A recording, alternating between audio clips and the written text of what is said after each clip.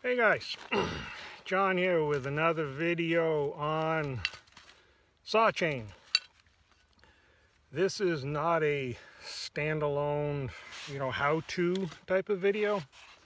The intent here is to be, we think of it as a homework assignment. If you were to be attending a game of logging hands-on program with us, the level two day, we spend pretty good amount of time uh, explaining how to sharpen chain, what chain to use. Um, I like to you know think about all the how-tos that are out there with sharpening chain. Really the first question we got to ask ourselves is what are we using the saw for? Are we standing on flat ground, mown grass? We got to make two cuts as fast as possible. It's a competition you know, is that the application or are we um, standing in a river up to our waist in water cutting up mud-caked trees from a flood? Like, wow, right? Two extremes of saw use. Probably not either one being used here. What we're most of us are talking about is cutting logs, cutting firewood, cleaning up blowdown, or you know maybe clean up a trail or something. So it's somewhere in the middle ground. But all of those applications, there's different styles of chain that work better for certain situations. To get there, we've got to understand how this tooth works.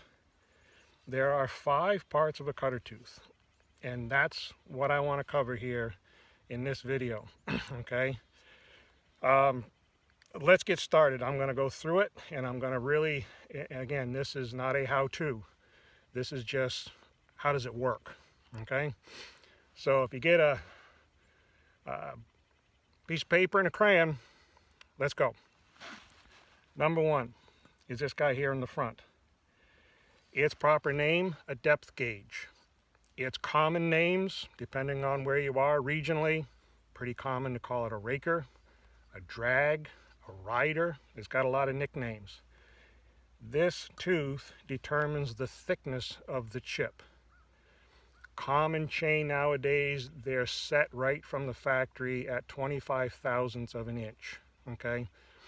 We modify them a little bit depending on what we're doing with the saw, but that determines the thickness of your chip. Number two is the working corner on the tooth. So where that top plate comes and the side plate come together, we have a working corner. I personally believe that that working corner is um, drastically underappreciated for what it does. Its job in life, to explain this, is if I take this here, it's just a broom, right? Just a whisk broom, and I have a piece of wood. The broom is really representing a piece of wood. The only difference, of course, is there's two major differences here. One, of course, is the wood is much more dense. But the other is showing the idea of the fiber. And if I get this broom tipped just right there, you can see that little fiber sticking up. The fiber of the broom. Okay? if you take a piece of wood, and I got a fresh cut piece of wood here, and you look really, really close, like right here, you can, it's, it's hair-like. That wood fiber is hair-like. It's super important to appreciate wood fiber. And, and go back to the broom, right? The stick of the wood, the piece of wood, is the same as, a, as the broom. It's fibers running this way, right? The difference is the wood fiber is hair-like. The reason that is so important is to understand what the point of the tooth does. The point of the tooth wants to and needs to hook into that fiber. Let me go back to the broom. Okay? the point will hook onto that fiber and the tooth will naturally be pulled down into the wood.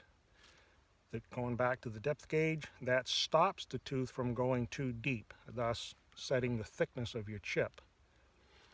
If we lose that point ever so slightly, it stops hooking the fiber. And you can kind of think of as the front of your tooth here is going to be like the front of a sled runner or the front of a ski to where it's just going to slide over the wood. We as the saw user, we feel like we we need to start pushing on the saw. What we're doing there is we're pushing the tooth down in to try to get it to hook onto that fiber.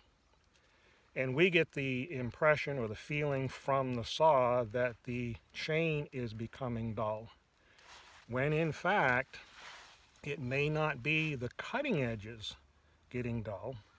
It can be simply we've lost that point and it peens down ever so slightly and, and it no longer hooks into that really hair-like fiber of wood. That's number two, right? Depth gauge, the point. Now we have two cutting edges. We have a, what we call a side plate and the top plate those two jobs, I'm kind of going to explain them a little bit simultaneously here in the sense that they have two very different jobs in life. They do two very different things. The side cutting edge, I like to say that the side cutting edge, okay, actually pays the bills or gets the job done. The reason that is, is if you think about a cutting edge, okay? I got a cutting edge here. And you take a piece of wood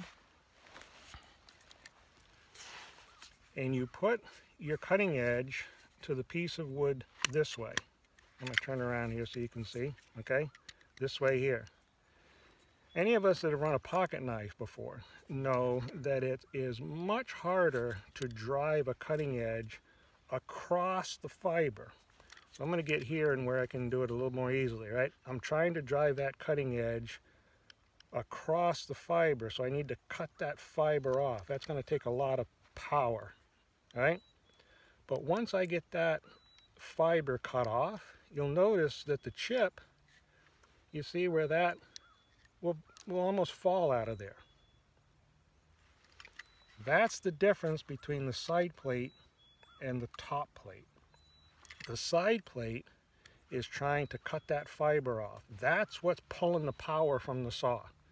That there is why you hear from guys that will modify their saws and they'll put, you know, they want horsepower. It's the horsepower that's needed to cut that fiber off.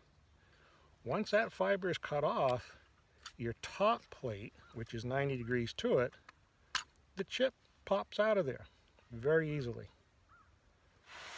So that's the difference between the top cutting edge and the side cutting edge. Side cutting edge cuts that fiber off. Top cutting edge is popping the chip out. There's four already, right? The depth gauge, the point, your side cutting edge, your top cutting edge, and the last part of the tooth, it's important to understand, is referred to as the chisel angle. Now if we can get that into the light. Here we go. And what I'm talking about there is this this angle right here all the way across the underside of the top plate. It's referred to as the chisel angle. That chisel angle, think of it as a little ramp that the chip slides down and then it escapes out under the back of the tooth okay so that really there in a nutshell is all five parts of the tooth. Is your depth gauge your point the side cutting edge top cutting edge and then that chisel angle. I want to leave you with a trivia question. And if you can answer this question correctly then it really does indicate that you get it. You really understand what's going on. Okay? Here's the question during the process of cutting a tree up, know, whether you're cutting firewood or cutting logs, doesn't matter. When you're cross cutting in a log piece of wood, I explained that the side plate cuts the fiber off, the top plate pops a chip out. Sometimes those two jobs will switch where the top plate cuts the fiber off and the side plate is kicking the chip out. Sometimes those jobs will switch partway through the cut. Now I'm not talking about ripping logs or anything like that. I'm talking about cross-cutting your piece of wood. Okay? The fundamentals, as I first explained, is the side plate cuts the fiber off, top plate knocks the chip out. In reality, in the real world, those two jobs will switch back and forth all day long. Sometimes they'll switch partway through the cut. So the trivia question is, why would that happen? If you think you got the answer, put it in a comment. Be interested to uh, see what you think. Okay? So there's your homework assignment, okay, in a nutshell. And hope to see you at a game logging program sometime in the woods, and we'll take this information and then we'll carry it into what style of chain to use and uh, so on for your different cutting applications. All right, take care.